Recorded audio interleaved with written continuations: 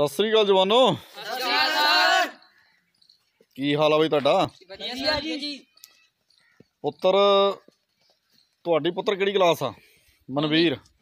9th class 9th class 7ਵੀਂ ਕੀ ਨਾਮ ਤੁਹਾਡਾ? ਇਸਬਰੇਸ ਤੁਹਾਡਾ ਨਾਮ ਵਿਕਰਮਜੋਤ ਸਿੰਘ। 9th ਭਗਵਾਨ ਚਰਨ ਨਾਈਨਥ ਸਾਬਰ ਅਲੀ ਕੀ ਬਾਤ ਆ ਪੁੱਤ। ਪੁੱਤਰ ਮਿਸ਼ਨ ਕੀ ਆਪਣਾ? ਇੰਡੀਅਨ ਆਰਮੀ ਕੀ ਬਾਤ ਆ। ਸਕੂਲ ਦਾ ਤੁਹਾਡੇ ਨਾਮ ਕੀ ਆ? Government senior secondary smart school Sara Mundian. ਕੀ ਬਾਤ ਆ। ਤੇ ਪੁੱਤਰ ਤੁਹਾਨੂੰ ਪਤਾ ਹੀ ਹੋਣਾ ਕਿ ਆਰਮੀ ਦੇ ਵਿੱਚ ਜਿਹੜੀ ਦੌੜ ਆ ਕਿੰਨੇ ਕਿਲੋਮੀਟਰ ਹੁੰਦੀ ਹੈ ਜੀ? 1600 ਮੀਟਰ। 1600 ਮੀਟਰ ਕੀ ਬਾਤ ਆ।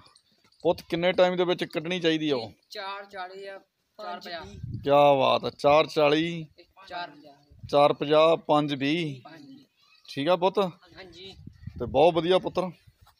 ਕੀ ਬਾਤ ਆ। ਕਲੈਪ ਕਰੋ ਆਪਣੇ ਲਈ।